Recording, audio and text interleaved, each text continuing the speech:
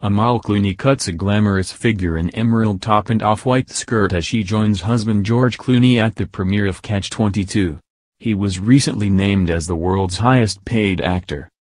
And George Clooney, 58, looked in high spirits as he joined his wife Amal, 41, at the premiere of miniseries Catch-22 at the Space Moderno in Rome on Monday.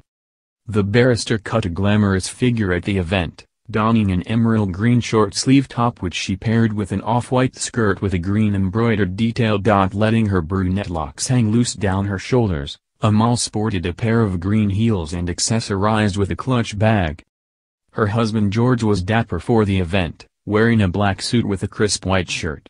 The pair, who married in Venice in September 2014, looked every inch the happy couple as they arrived to the red carpet holding hands. George produces the new series, directs the first two episodes and also appears in the show as Lieutenant Scheisskopf. Catch-22 is set to be released in the United States on Hulu on May 17, 2019, while Channel 4 will air the show in the UK. This comes after George and Amal's wealth grew by £10 million last year after he was named as the world's highest paid actor.